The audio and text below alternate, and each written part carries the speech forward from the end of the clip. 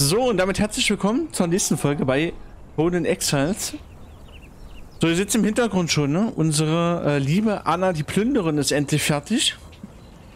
Nach, nach intensiven Verhandlungsgesprächen hat sie sich bereit erklärt, äh, sich uns anzuschließen. Ja, ich habe in der Zwischenzeit, äh, da das natürlich sehr, sehr lange gedauert hat, äh, da wir hier natürlich einen namhaften Stroll haben, ne? Wie gesagt, entsprechend hat das äh, lange gedauert, sie ja in die Knechtschaft zu, be äh, zu bekommen. Äh, habe ich die Zeit schon mal genutzt und habe jede Menge Baustoffe schon mal vorbereitet, ne? Also sprich jede Menge Stein, jede Menge Holz äh, schon mal in die Weiterverarbeitung geschickt.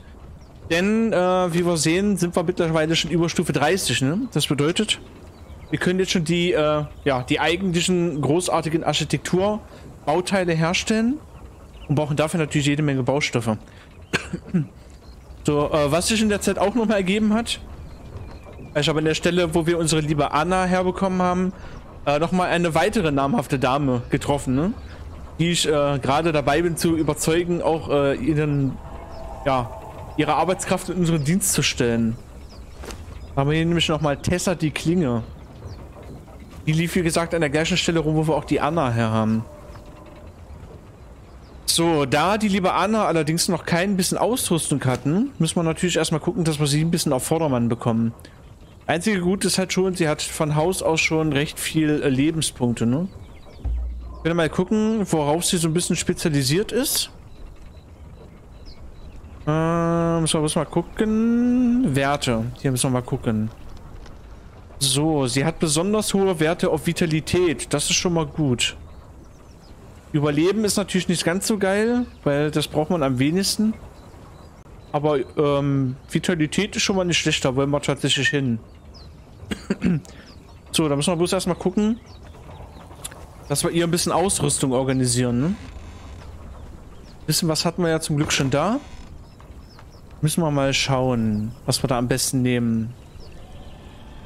Wir könnten hier theoretisch schon sagen, na, den schweren Harnisch können wir nur schon mal nehmen. Mit 47. Ja, gut, die Stiefel sind jetzt nicht ideal, aber für den Anfang sollte es schon mal gehen. Dann nehmen wir die beiden Sachen schon mal. Dann müssen wir mal gucken. Wir haben leider jetzt nicht so dolle viel Auswahl. Daher nehmen wir hier mal die Handschuhe. Das ist jetzt momentan das Beste, was wir haben. Ja, wobei, wir könnten die ja reparieren, glaube ich. Ne? Die hätten 13. Müssen wir mal gucken. Wir nehmen, glaube ich, erstmal die hier. Und ansonsten müssen wir auch mal gucken, was wir hier noch so nehmen. Na gut, an Ausrüstung haben wir jetzt aktuell nicht so viel, ne? Da können wir, glaube ich, bloß die Hosen nehmen. Wobei die aber auch 34 Rüstung haben. Dann nicht so schlecht.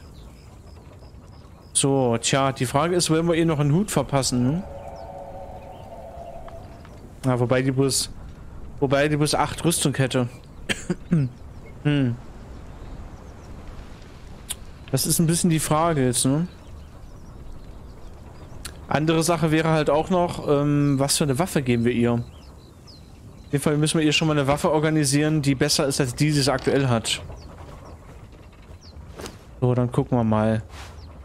Kommt, jetzt sagt sie nämlich aktuell bloß Rüstung 5, das ist halt gar nichts. So, dann hat sie schon mal 17. 20. Äh, 53. Und damit schon mal 98, ne? Das geht tatsächlich schon. So, Steindoppelschwert. Das macht 19 Schaden. 19 Schaden und 20 Rüstungsdurchschlag. Müssen wir mal in unserer Waffenkammer gucken, ob wir da irgendwas finden, was schon mehr Schaden machen würde. Ne? 19 Schaden, 20 Rüstungsdurchschlag. Hier mal 16 Schaden, ne? Das ist natürlich nicht so gut. Das ist natürlich nicht so gut. Ike genauso wenig. 13 können wir noch mal gucken. Macht aber auch nur 16. Ne? Alles noch nicht so atemberaubend, was wir hier haben. Nimedisches Großschwert. Hätte halt die gleichen Werte, ne? Würde auch nicht so viel mehr Schaden machen. Nemedisches Kurzschwert. Wäre auch eine Idee. Hm. Wir könnten auch sagen, wir gehen auf Dolche, dann würde sie nochmal Blutungsschaden machen. Allerdings habe ich es eigentlich immer ganz gerne, wenn wir sie auch ein bisschen auf Tank auslegen würden. Ne? Also ihr auch, äh, sprich, ein Schild verpassen. Wäre im Prinzip auch nochmal eine Überlegung. Hm. Denn wie gesagt, die, das Kurzschwert ist jetzt nicht so großartig viel besser als das, was wir schon haben. Einzige, was wir mal machen können, wir haben ja noch Punkte frei. Gucken wir einfach mal, ob wir bei Waffen schon ein bisschen was Besseres herstellen können. Ne? Das war nochmal eine Überlegung. So, da müssen wir mal gucken. Da haben wir hier allerdings nur Einhandwaffen, ne? ist jetzt natürlich das Problem, dass wir da äh, eventuell nochmal zweihändige eigentlich lernen müssten, die wir selber eigentlich gar nicht nutzen, ne? Stahlgroßaxt, die würde 4, äh, 42 Gesundheitsschaden machen. Aber bräuchten wir halt Stahl erstmal für, ne? Das ist halt auch schon wieder das Problem. Eisen Großaxt 24. Eisen Doppelschwert 27. Könnte man theoretisch sagen. 22 für, das, für den Speer. 24 für diesen Speer. Speere machen auch Blutung, wenn ich mich richtig erinnere. Dann lernen wir mal den Speer hier. Nehmen wir mal den. So, und dann gucken wir mal, was wir da an Rohstoffen für bräuchten. Stygischer Speer. Gucken wir mal. Müsste er rein theoretisch ganz unten... Oh, ah, hier. Hier ist er schon. So, da bauen wir noch ein bisschen Zwirn. Dann haben wir es schon. Können wir den so direkt schon herstellen. ist natürlich arschteuer, ne? 45 Eisenbarren. Das ist eine Investition, die, die musste man sich jetzt erstmal zweimal eigentlich überlegen. Hoffen wir mal, dass sich die Waffe da auszahlt. So, den Zwirn nehmen wir direkt wieder mit. Und die Waffe nehmen wir direkt wieder mit. So, was wir auch mal gucken müssen. Wie lange wir noch brauchen, bis wir äh, zur Demontagebank kommen. Die hätte ich nämlich eigentlich ganz gerne. Die ist hier unten. 37, na gut, das dauert noch, ne? Das wird noch eine Weile dauern, bis wir da sind. Hm. Können wir mal gucken, was wir sonst noch so hätten. Nicht allzu viel, was momentan Sinn macht, ne? Das ist das Problem. Leider nicht so viel, was Sinn macht. Rüstung könnte man noch mal gucken. Da könnten wir die Sandsturmmaske schon mal herstellen. Nehmen wir schon mal. Denn die werden wir wahrscheinlich relativ frühzeitig schon die brauchen können. Gerade wenn wir uns ein bisschen in die Wüste nochmal vorwagen, wo jetzt nichts großartig an äh, Deckungsmöglichkeiten ist, ne? Gebäude können wir auch nochmal gucken. Aber bei Gebäuden haben wir den entsprechenden Skill noch nicht, ne? Ah, da müssen wir ein Level erstmal noch schaffen. Dann können wir zumindest die grundlegenden schon mal schon mal freischalten. Das Gute ist, wenn wir hier oben das bei Steinnetzmeister freischalten, haben wir auch alle ähm, Konterpass zu den anderen Baustilen schon automatisch mit freigeschaltet. Dann können wir langsam aber sicher schon mal anfangen. So, dann geben wir der guten Anna mal die Waffe in die Hand. Wechseln wir das mal aus. So, müssen wir mal gucken. Die Items können wir rein theoretisch erstmal irgendwo ablegen. Ja gut, die Gamaschen brauchen wir jetzt nicht dringend. Füße könnten wir theoretisch erstmal... Naja, wobei brauchen wir eigentlich auch nicht, ne? Brauchen wir eigentlich auch nicht. Heben wir mal nur das Schwert nochmal auf. So, und der Rest sollte passen. Ja, der Rest passt erstmal. So, dann gucken wir mal. Brauchen wir natürlich noch Versorgung für die gute Anna, ne? Die will natürlich auch ordentlich was zu essen haben. So. haben wir verschiedene Lebensmittel und bei verschiedenen Lebensmitteln, wie wir hier sehen, alles was sie, was äh, zu sich nimmt, äh, ist die Wahrscheinlichkeit nochmal höher, äh, dass ein bestimmter Wert nochmal äh, steigt. Beispielsweise dadurch, dass wir Anna so ein bisschen als Tank ausbauen wollen, äh, werden wir ihr mal gegrilltes Steak füttern. Denn, da werden wir gleich mal gucken, jetzt müsste sie noch mal einen Buff bekommen haben. Wir erinnern uns, sie hatte, glaube ich, ähm, irgendwas um die 55% Chance auf Lebenspunkte, ne? Jetzt bekommt sie, na gut, ah hier, plus 14%, ne? Vitalität. Das kam jetzt quasi durch das Buff-Food, was wir ihr gegeben haben. So, dann würde ich sagen, soll sie uns mal folgen, ne? Gehen wir mal ein bisschen in den Kampf. Suchen wir uns mal ein paar Gegner zum Bekämpfen. So, da folgt sie uns schon mal.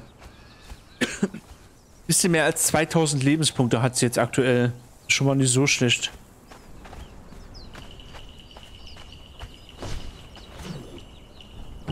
Ah, Krokodil. So, dann kann sie ihre ersten Lebenspunkte schon mal oder ihre ersten Erfahrungspunkte schon mal sammeln. So, wir tanken das jetzt erstmal, damit sie Schaden machen kann.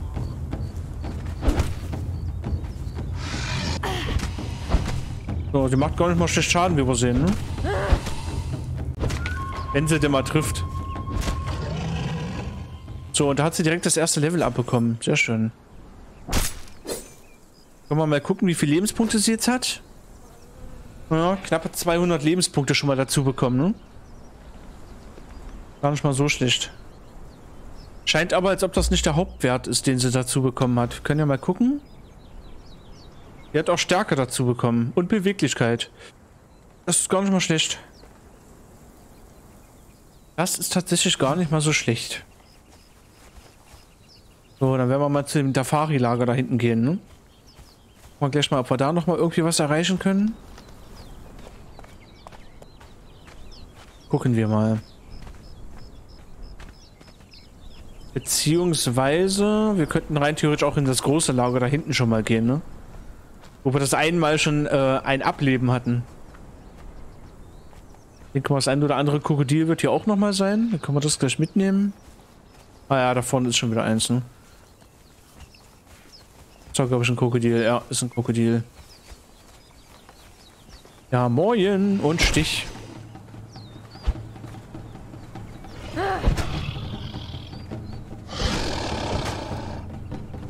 Oh, so klappt das nämlich eigentlich ganz gut. So klappt das eigentlich ganz gut. Wir tanken das Ganze erstmal und sie kann dann in Ruhe schön auf Reichweite das Vieh abstechen, ne? Geht eigentlich mal ganz gut. So, das, äh, das Gute daran ist halt, dass sie äh, zusätzlich auch noch ähm, nach Blutungsschaden verursacht.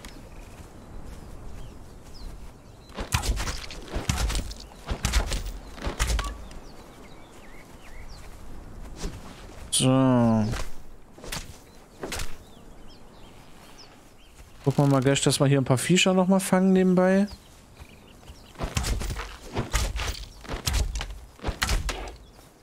Hm. Denn wir werden mit ihr auf jeden Fall wieder jede Menge Fleisch brauchen. Die hat einen ganz schönen Kohldampf, die gute. Die hat leider einen ganz schönen Kohldampf.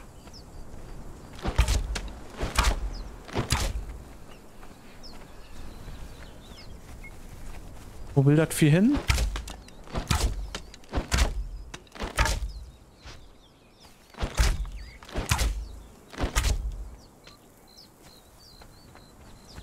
Ist zwar ein bisschen weiter weggekommen, das Vieh, aber wir haben es noch bekommen. Ne?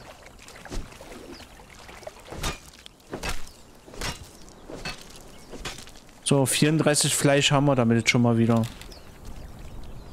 So, denn, wie gesagt, da müssen wir darauf achten.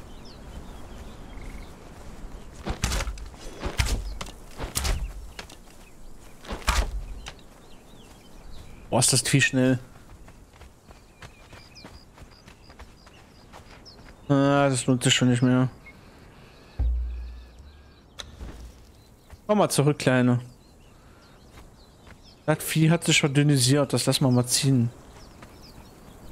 Macht nicht so viel Sinn, so ein Vieh auf äh, Teufel komm raus für alle Ewigkeit zu verfolgen.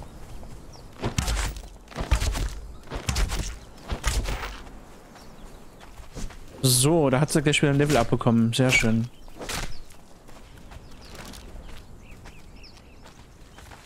So, die Tiere haben wir leider erstmal aufgescheucht, ne?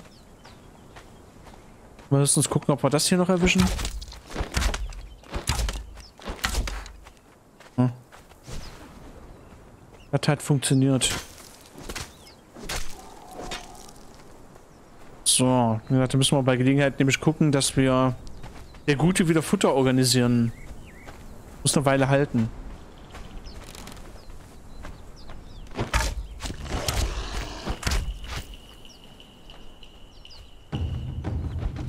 So, gucken, ob sie den alleine kaputt kriegt. Oder das Krokodil, besser gesagt.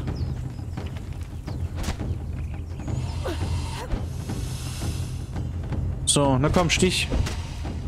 Mach's tot.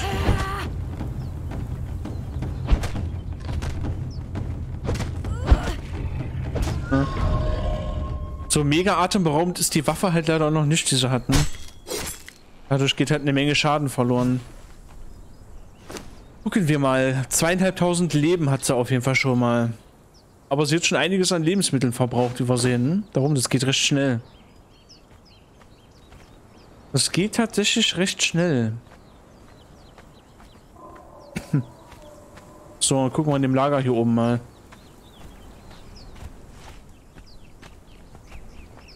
Hm, nebenbei können wir nochmal eine Antilope killen.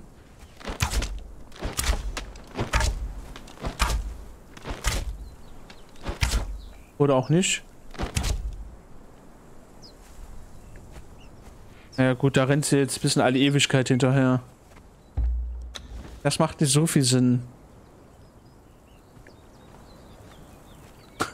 Ich glaube, die wäre jetzt ein bisschen alle Ewigkeit hinterherlaufen.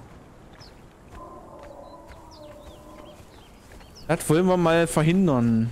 Das wäre nicht so geil.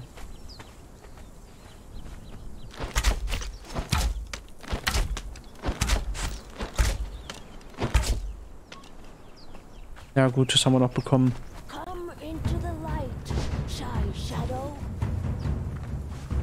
Ein Koch.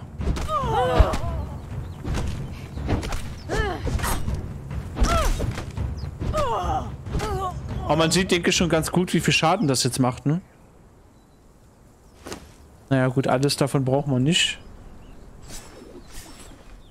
Ich denke, man hat ganz gut gesehen, wie viel Schaden sie dadurch jetzt schon macht. Ist natürlich ärgerlich, ne? Ein Koch hätte man gut gebrauchen können.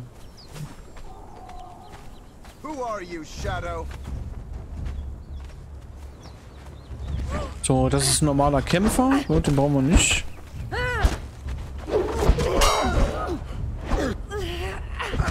So, dann blocken wir mal. So, der ist schon mal hinüber. Klappt ganz gut, ne? Wir tanken und sie killt.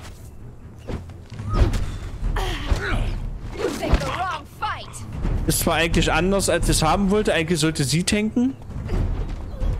Aber... Oh.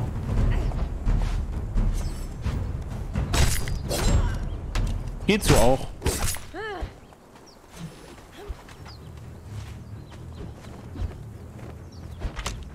Oh, derzeit können wir ja schon mal plündern. Können wir theoretisch alles mitnehmen. Na, kriegt sie noch tot? Ah ja.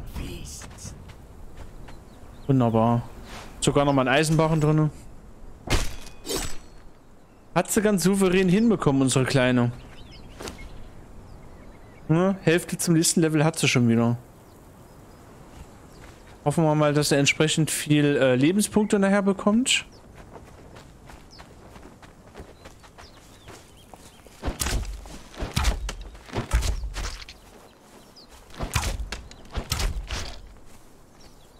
Hoffen wir mal, dass sie genügend Lebenspunkte bekommt. So.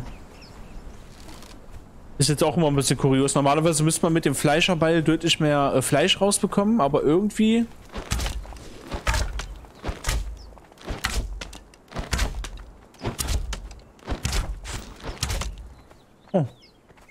Das war ein Blattschuss irgendwie.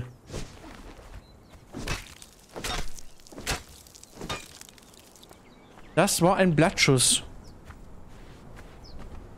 So, hier haben wir auch nochmal so ein Vieh.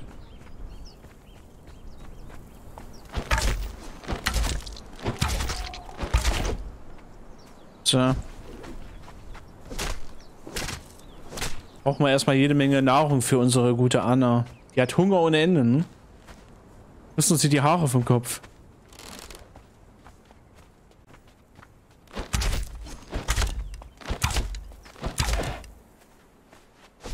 So. Gut, die eine da vorne nehmen wir noch mit und dann kehren wir erstmal kehren wir erstmal zurück zur Basis.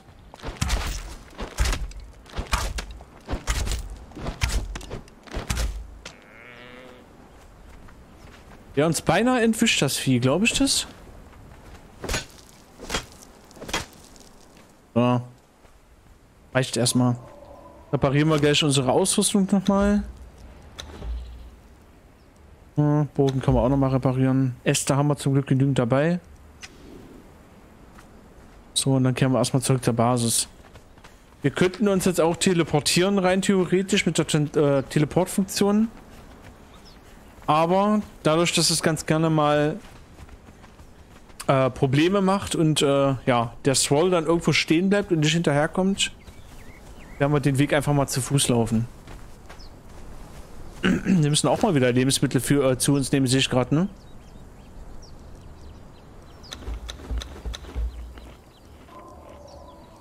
Wir müssen tatsächlich selber auch mal wieder was essen. So. Trinken wir mal wieder ein bisschen was von unserem leckeren Fruchtsaft hier.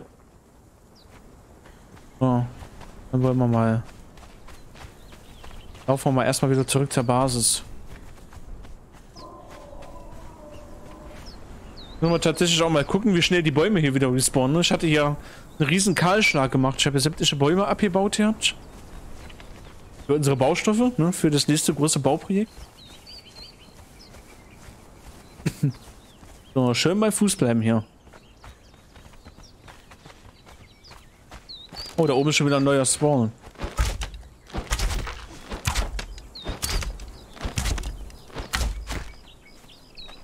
Da oben ist schon wieder ein neuer Swall. Den können wir aber, glaube ich, getrost liquidieren, denn das scheint ein männlicher zu sein. Wir wollen uns ja nur Damen holen.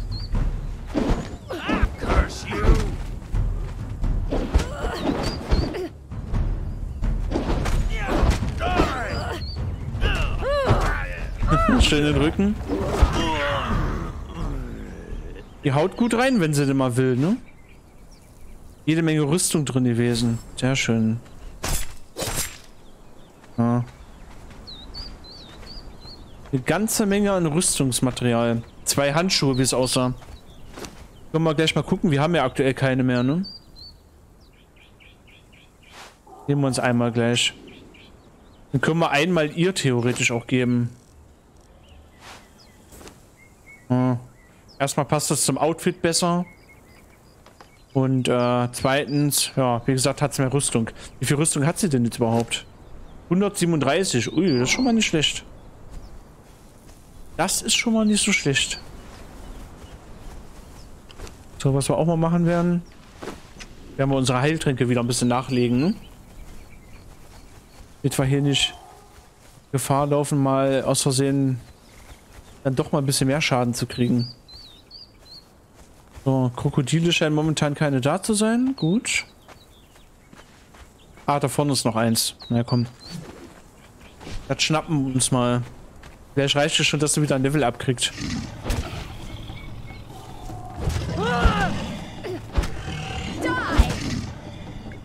Übersehen, Blutung und hat ordentlich Burst Damage gemacht mit dem Speer, ne? Das mag ich nämlich mal eigentlich schon ganz gerne. Gerade der Blutungsschaden äh, macht sich dann immer bemerkbar bei Gegnern, die sehr viel Leben haben. Schauen wir mal, ob hier vorne auch schon wieder das Krokodil liegt. Ja, gerade bei gerade bei Bossen, ähm, die relativ viel Lebenspunkte haben, dauert das uns ewig, die runter zu zergen. Und so, wenn wir halt sie dabei haben und sie verteilt jedes Mal Blutung, geht das ein bisschen schneller. Nehmen wir mal gleich wieder Eisen mit. Wenn es denn hier gerade respawnt. Können ja die Gelegenheit mal nutzen. Jetzt haben wir ja den Gegner hier gerade Niloy gemacht. Ob hier vielleicht noch irgendwo Eisen ist, aber sieht nicht so aus, ne? Scheint nur ein Knoten gewesen zu sein. Auch ein bisschen ärgerlich, ne? Ein Knoten Eisen, ein bisschen wenig. Oh, hier sind auch noch keine Steine. Müssen wir mal abwarten, bis wieder alles respawnt. So, dann werden wir für die gute für die gute Anna mal Lebensmittel kochen, ne? Sind wir mal so frei. Gucken wir mal, wie gut die, äh, wie weit die gute Tessa ist. Ja, ja. Das dauert wieder noch. So, dann gucken wir mal. Werden wir mal sämtliches Fleisch für sie hier mal zubereiten.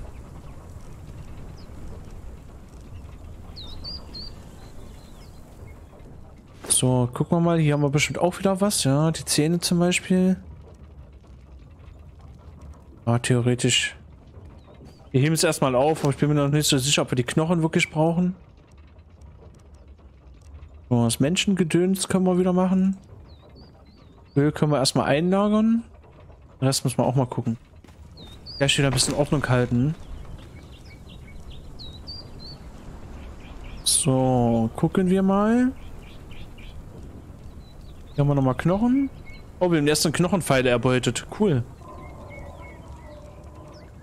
So, und den Rest kann man in die andere Truhe packen. Eisenkopfpfeile. Knochenpfeile können wir rein theoretisch schon mal mitnehmen. Denn, äh, ja, so atemberaubend viele äh, Feuersteinpfeile haben wir jetzt auch schon nicht mehr, ne? So, die Sachen können wir zur Not alle erstmal einlagern. Dann haben wir erstmal wieder ein bisschen was. So. Was wir auch nochmal dann demnächst dringend machen müssen, da denke ich nämlich gerade dran. Äh, wir müssen unseren Feuerschalenkessel mal bauen. Den haben wir noch gar nicht gemacht. Damit wir nämlich hier auch richtige Ziegel herstellen können. Und auch nochmal andere Materialien, die wir jetzt aktuell gerade brauchen. Gar nicht mal so verkehrt. Aber wir haben schon ein bisschen was an Eisen, ne? Fast 1000 Barren haben wir mittlerweile. Habe ich alles im Hintergrund, wie gesagt, zwischen den Folgen schon mal gemacht, damit wir hier äh, ein bisschen schneller vorwärts kommen. So, und dann gucken wir hier drüben nochmal. Ja, ich will ein bisschen Leder in Auftrag geben. So, gucken wir mal. Das hier und das hier und ab dafür. Holz können wir auch gleich wieder gucken. Ja. Geformtes Holz brauchen wir halt auch ohne Ende. So, da müssen wir mal gucken. Ich bin ja schon mal gucken, was wir für den Feuerschalenkessel so brauchen. Ob wir den eventuell schon mal craften können. So, gucken wir mal, da haben wir einen Feuerschalenkessel. 50 Eisenbarren bräuchten wir, ne? Was wir mal machen können, ich glaube, wir können den verbesserten schon bauen.